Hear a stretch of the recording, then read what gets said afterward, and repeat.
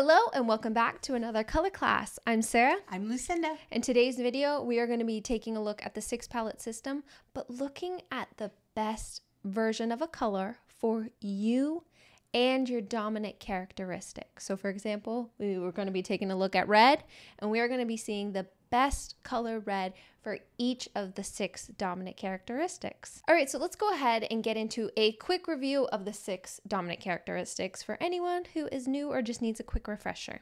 As we're looking to determine whether somebody, which of the six dominant characteristics is their dominant characteristic, we have to determine all of their characteristics. Are they light? Are they deep? Pick one. Are they warm? Are they cool? Pick one. Are they soft or are they clear? Pick one. Now, you will end up at this point, you'll have three characteristics that kind of represent this person that you're looking at or yourself. Um, and then you have to decide which one is dominant. Now, each one of these dominant characteristics then has a an attitude that they put onto a particular color. They change a color um, to suit each of the characteristics. Now, what does that mean? It's really hard to describe. Let's look at red, and I'll show you what I mean. Now, starting with the clear color, I, and I start there because remember, I've taught you guys that clear is the color of something that comes right out of the tube. You know, if you're painting, clear would be the color without anything added to it, right? But when you want to make a clear color suitable for a light color, you add white. When you want to make that same clear color suitable for somebody who's deep, you add black. And this doesn't happen in every instance, but this is this is kind of the majority mm-hmm. of the time. When you want to make something the clear color suitable for someone who is just predominantly warm all over, you add gold when you want to make some something cooler, you know, uh, make this red cooler for somebody who's cool, you add blue. And then if you want to soften it, you add gray. So this first chart shows you how when you're starting with that clear red color, what happens to the clear red color as it is embraced by each of these dominant characteristics. So I think a really great example is using us as figuring out what is our dominant characteristic because both of us kind of has some competing factors, but we fall into different groups. So, for instance, you. Yeah, I I would be light, cool, and soft mm-hmm. because mm-hmm. you know I'm definitely not deep. I'm definitely definitely no longer warm, and I'm not clear. I have no no heavy duty contrast anywhere mm-hmm. on me, so I'm soft, light, cool, and soft. Well, maybe today your glasses, but. All right. And then if for me, my deeper hair throws me and shifts me a little bit deeper. And then my hair, of course, shifts me a little bit warm, even though I have a predominantly cool to neutral skin tone. Just w- embracing my warmer colors is going to shift it. dominant? Your hair color. That red mm-hmm. of your mm-hmm. hair is right. That's definitely dominant of the if you're looking at skin tone, eye color, and uh, hair color mm-hmm. on Sara, my what, hair color is what, what strikes you. Mm-hmm. Mm-hmm. So, so you've mentioned deep and warm, mm-hmm. and then soft and clear. Of course, there's nothing very high contrast on me either. Very mm, just ishy. We always use the ishy mm. word. Reddish hair. My skin tone is neutral-ish. My eyebrows don't don't even get me started about how ishy they are. And my overall appearance is just ishy. So i fall into the soft category. Exactly. Now how can and i fall into the soft category because i'm not all that light. I'm not crazy light. I'm definitely not crazy cool. And you know i, I am soft. So of the three i too am soft. So mm-hmm. we are both soft. So what that means is when we're looking at a red color, we need to add a little bit of gray to our red to make it our own, mm-hmm. to make it not swamp us. Because if we were wearing a bright, clear color, that color would take over and grab all the attention versus wearing something that matches our low contrast selves. Yeah. So on me, um, if I were wearing a vibrant red, you would think I look pale, sickly, uh, grayed out, Mm-hmm. not all that healthy. So what I do to compete with that red, I pull it back, you know, I take back some of the saturation, I desaturate it to a point where I'm the star, where I look healthy. Same with Sara. We desaturate it because Sara has a very uh, porcelain, coolish skin tone, and that red on her would make her look also sickly. Uh, Very and, pale. and it would clash with her hair. right. So what we do is we pull it back just a little bit, we desaturate it so that none of that clashing is going on, and it's very flattering for us both. Now, we just talked about red, but let's take a look at our next color that we have. Blue, one of my favorite colors.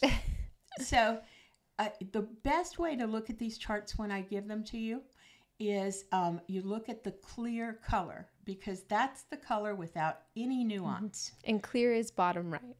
Correct. And so clear, you see, clear is clear.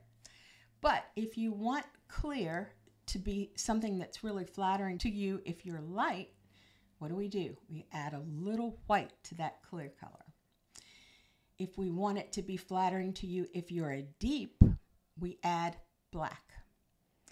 And again, this is directionally correct. There are a couple that are kind of off, but and and I'll tell you the reason they're off. I don't know if any of you paint. I paint. And so you know that you there's lamp black, there's Mars black, there are multiple blacks out there in the world. And when you add color to them, they come up as different colors.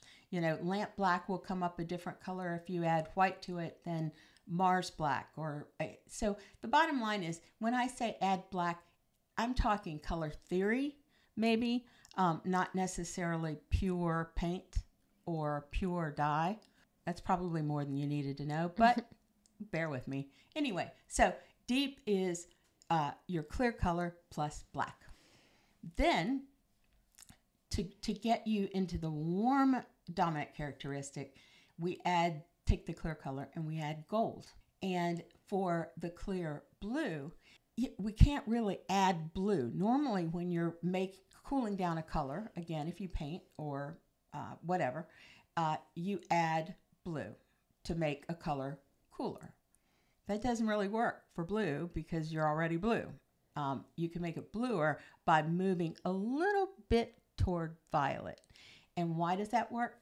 Because it takes you further away from yellow if if you're on a color wheel. So in this particular instance, this color, which is your cool blue, is clear plus violet. Then to get you into a soft blue, we take that clear blue and we add gray. This is your this is the way we've nuanced that one clear blue to encompass all six of the dominant characteristics.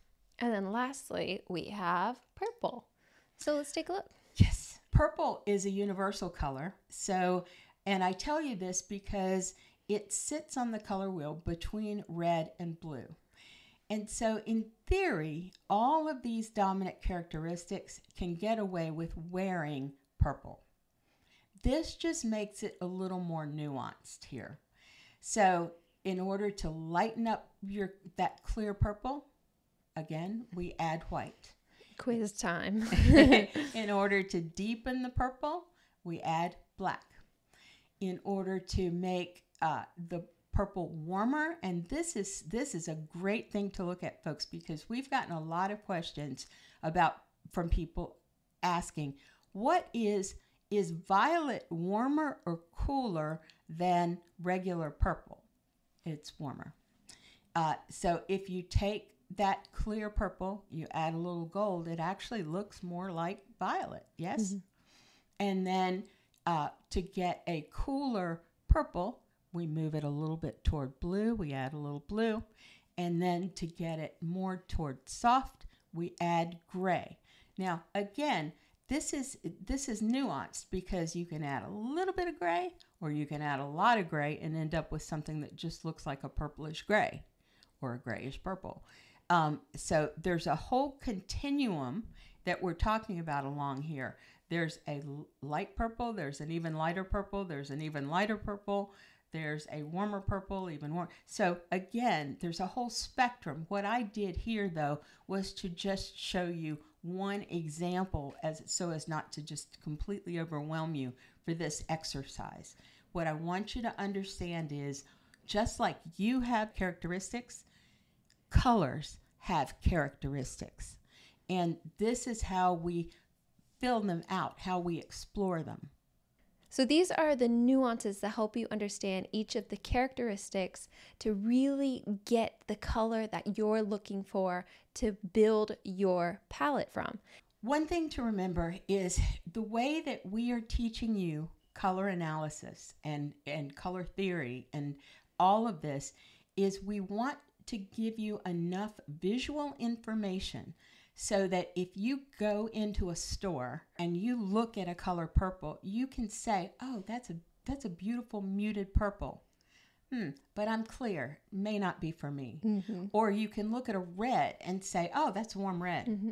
It, you know, I'm a spring. I, I, I can pull that off. Mm-hmm. Or so the bottom line is at the end of all this, just so you understand why we're putting you through this, is because we want enough pictures implanted in your brain that you will understand the moment you see a color in a store, mm-hmm. in a, a, you know a paint cup, paint chip, anything, you know exactly what characteristics that color mm-hmm. has. And of course, I have to throw this in. These are available on our Facebook page, and you can find the link in the description down below.